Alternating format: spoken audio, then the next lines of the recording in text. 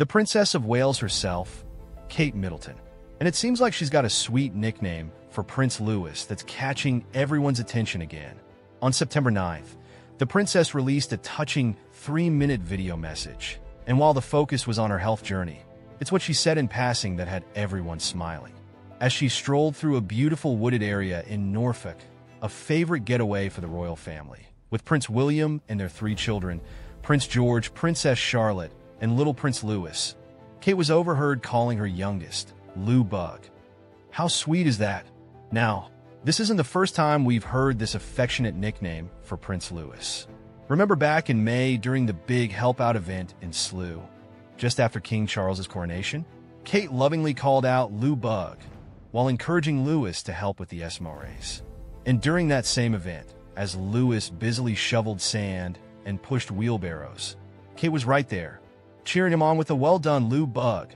But what makes this latest video message even more heartfelt is the personal story Kate shares about her recent health struggles. Walking alongside her family, she opens up about completing chemotherapy and how the last nine months have been a challenging journey for all of them.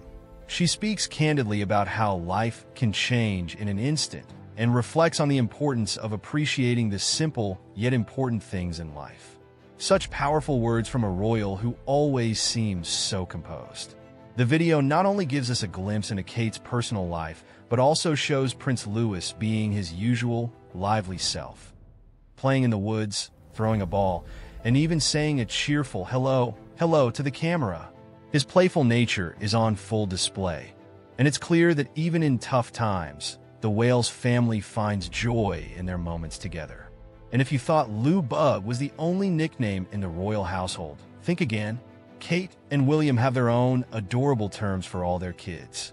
From Lottie for Princess Charlotte to Pops for Prince George, it seems like there's always a bit of sweetness behind the scenes. But let's turn it over to you now. What do you think about Kate's adorable nickname for Prince Louis? Do you have special nicknames for your own loved ones? And how do you feel about Kate opening up so publicly about her health journey? Do you think it helps people relate more to the royals? Or do you believe the royal family should keep such matters private? Share your thoughts, and let's keep this discussion going in the comments below. As always, we love hearing from you, so don't forget to like, subscribe, and click that bell for all the latest updates on your favorite royal family.